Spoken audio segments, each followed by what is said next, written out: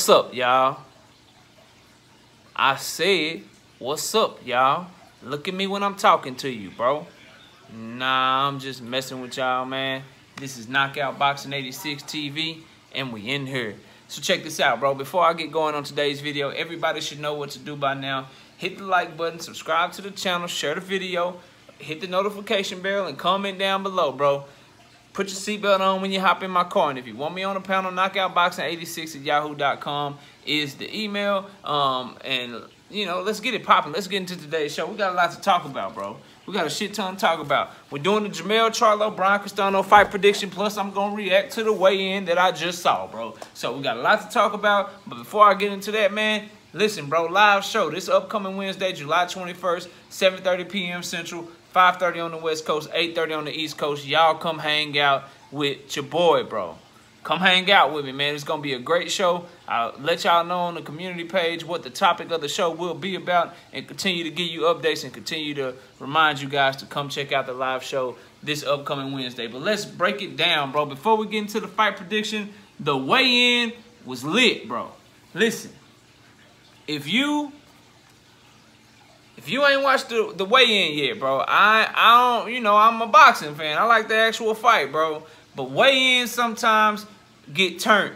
And this one was turned, bro. The energy was all the way on 10. Bro, some like Jermall Charlo, you know, Jermell's twin brother, the middleweight champion of the world. Somebody from Castano's camp set him off, bro. It was Castano's manager, they're saying, who also was Marcos Maidana's manager, bro. But, bro, he said Jermall Charlo off. And Jermall turned into Jermell, bro. Jermall wanted to fight on the stage, bro. They had to be separated. They had to hold him back. I never thought I'd say Jermell was the calm one, bro.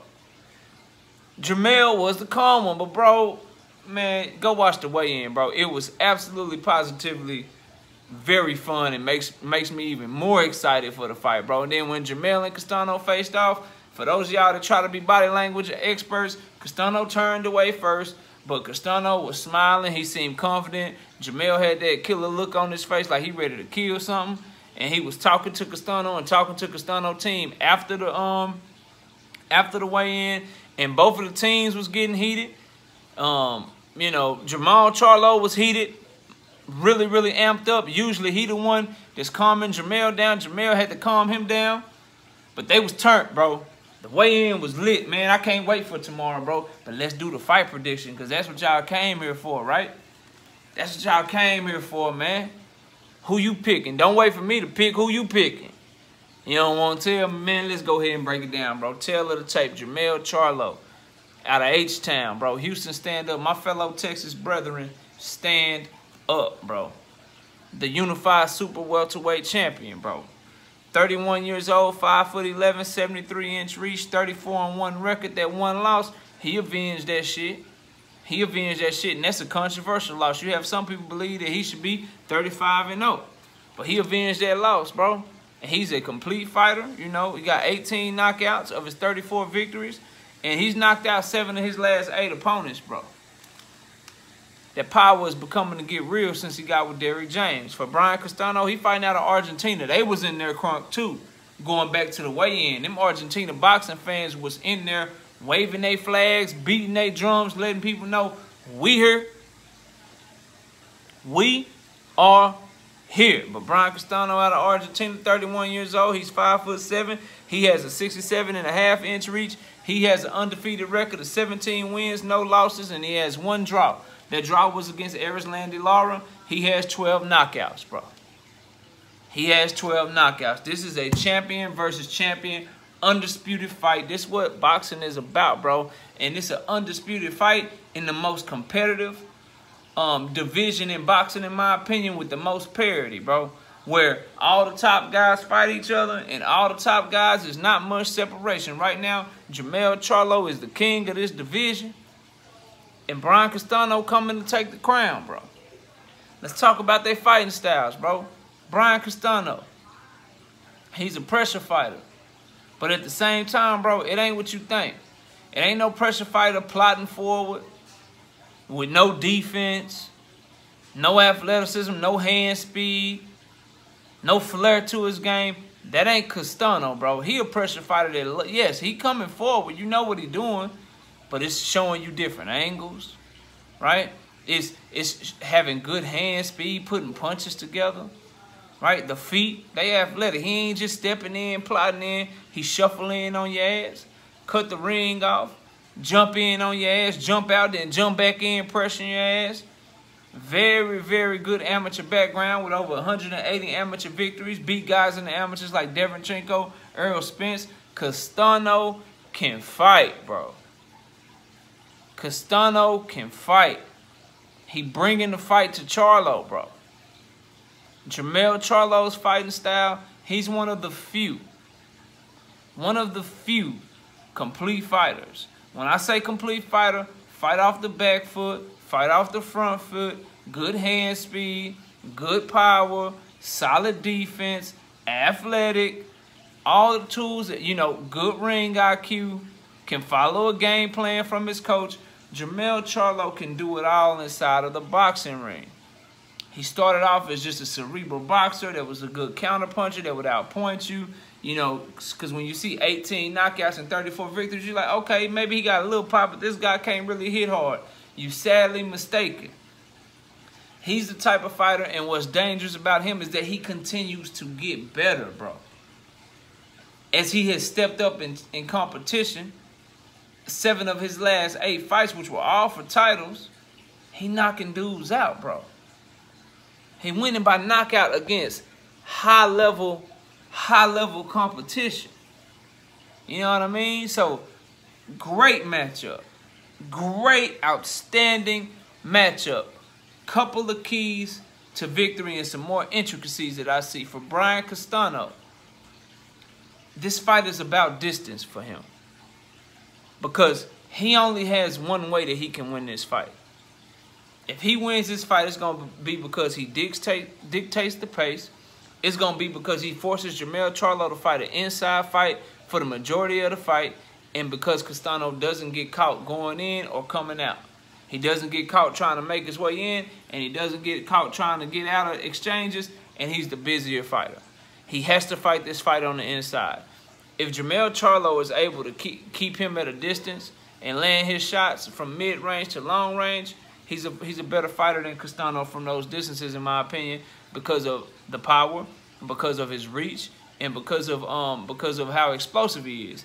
Castano has to get inside because getting inside, uh, that's what he do best, number one. But also, number two, it gives him a better chance of smothering Jermell Charlo's punches and taking some of the pop off of those punches. So his key is getting inside, bro, which a lot of you probably already know. For Jermell Charlo, he is going to have to use that jab, which he has a very good jab, work it down low, work it up top. He's going to have to control distance and when he gets inside, if he don't like what he see, he got to tie Castano up to not let Castano use that busy work rate. And he has great left hook combination that he throws, does Jermell Charlo, which is where he starts the left hook down to the body and then he brings it up top. That up top one will put your lights out. Go ask Tony Harrison about it, bro. Go ask Tony Harrison about um Jermell Charlo's left hook to the body, left hook up top combo. Go ask him about it. For um for Castano, one thing I want to see from him that I see a flaw in, bro, is um. Uh, but but Jermell Charlo's flaw first. His flaw is if you want to fight, he'll fight you, and he can't he can't fall into that shit with Castano. He can't try to show Castano how tough he is by saying I'm gonna fight you on the inside and making it a more difficult fight for himself. Can he pull off a fight like that? He has the ability to, but I would I would advise against it you want to make the fight as easy as possible for yourself. So if you Jermell Charlo, don't listen to that in And you can see it in the weigh-in today, bro. He ready to go. He ready to go to war. He want to fight. And Castano and his team are trying to use that, in my opinion, to make him just fight an all-out war with Castano because that's where they know Castano's strengths lie. And that's his chance to win the fight is fighting on the inside and going to war. Charlo could probably win a fight like that, but it just makes the fight harder for him. So he has to use his innate advantages, bro. Use that length. Use that jab. Catch him with that vicious right hand that you got. When you're on the inside, if you get your one or two good shots in, you gotta you gotta hold on. Keep Castano from being busy. That's what he gonna have to do. Not listen to that inner lion in him, as he says, you know, lions only. not listen to that and just want to go to war and go toe to toe and bang it out with Castano. For Castano, one thing I see, his head movement starts off pretty good. But as the fight goes on, as he gets in his groove, he has a tendency to square up and he has a tendency to not move his head as much. And that's danger time against a fighter with the timing and the explosiveness of Jermell Charlo.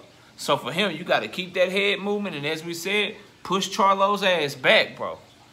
Push him back. Can he fight off the back foot? Yes.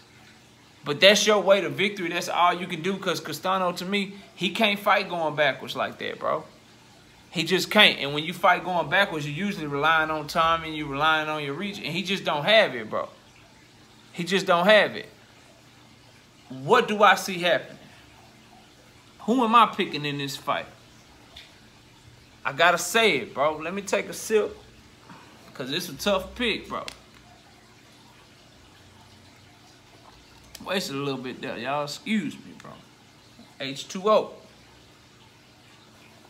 I'm picking Argentina, bro. I'm picking Argentina. Brian Castano, bro. I'm picking him. I'm picking them to be sad, bro. I'm picking the whole country to be sad tomorrow night, bro. They're going to be sad. You know why they're going to be sad? Because Jermell Charlo is to win this fight, and he's going to win the fight by knockout, bro. Castano is a warrior. He got a chin and all of that shit. The matchup, in my opinion, is just all wrong. See, I believe it's certain fighters that the more you test them, the more you bring to them, the more greatness you bring out of them, bro. And while I've been critical of Jermell Charlo's comments regarding racism, while I've been critical about the way that he acts and behaves in press conference, talking about he got shooters, what I can't criticize is the man inside that ring, bro. And let me tell y'all, excuse me, let me tell y'all something, bro. Jermell Charlo is, go is going to look similar to Rosario, but it could be an even better performance because Castano got a chin. Because he to be able to show more of what he can do, bro. And Castano going to bring it. He to be a warrior. He's to be some tough moments in the fight for Charlo. But I think he to get through him, bro. It's just certain people. Pressure makes diamonds. But it also busts pipes, right? But Jermell Charlo is that diamond that pressure makes, bro. He, he, he just has too many advantages in this fight, bro. The jab, the length, the explosiveness, bro. The, the the coaching, in my opinion. No disrespect to Castano. He come from a fighting family. But I just don't believe you can give a Derrick James coached fighter this many advantages. You can't let him have the reach. You can't let him have the explosiveness. You can't let Derrick James have the more complete fighter. Now, part of the reason that Jermell is so complete is because of Derrick James, obviously.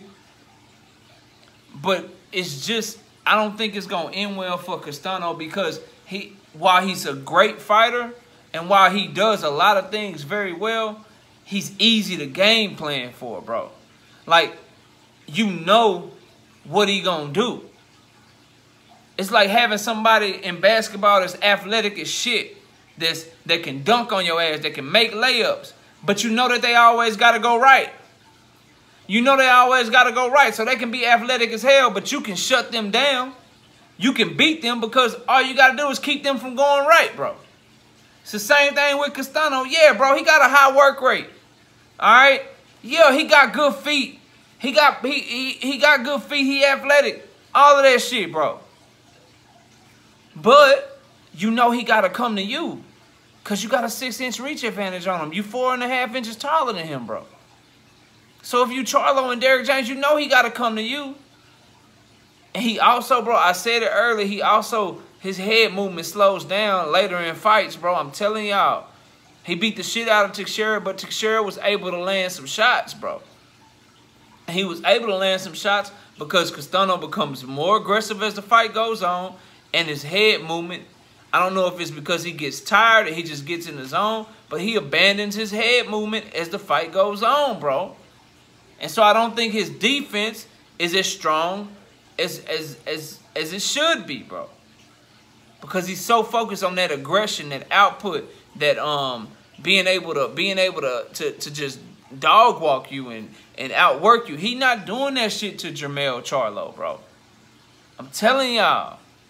And so what I see happening, I'm picking the late stoppage because I see Jermell catching him coming into or catching him going out of an exchange, bro. I think Jermell Charlo's to keep the fight in the middle of the ring, use his jab, use his boxing skills, keep his back off the ropes. When Castano get in real, real close, he going to time up, make him reset, get back to the distance that he like, and eventually, bro, because of Castano's, you know, lack of head movement sometimes, and eventually because of Jermell Charlo just being such a complete and such a great fighter, he to catch him with some shit that's to hurt him. And Jermell Charlo, when he hurt you, bro, it's a wrap. You understand what I'm saying? And so I think he's going to win by knockout. I'm going to pick a knockout in the ninth round, bro. Knockout in the ninth round. If it's a little later or a little sooner, I won't be surprised. One thing's for sure, Jermell Charlo gonna win this fight tomorrow, bro. That's what I'm putting my money on. Y'all let me know what y'all pick is down in the comment section, bro. Comment down below, hit the like, subscribe to the channel, share the video, put your seatbelt on when you hop in the car, hit the notification bell, all of that shit, bro. And if y'all want me on the panel or you want to collaborate, knockoutboxing86 at yahoo.com is the email. I appreciate all of y'all watching the video. Um, and also, oh, the live show, don't forget, live show this upcoming Wednesday, um, July the 21st, 7.30 p.m. Central Time, 5.30 on the West Coast. 8.30 on the East Coast. Y'all come kicking and hang out with your boy as we do You Got Knocked the F Out episode 3, bro, our live show. Come check it out, man. I appreciate everybody watching. Enjoy the rest of y'all day. And with that, we out here, y'all. Peace.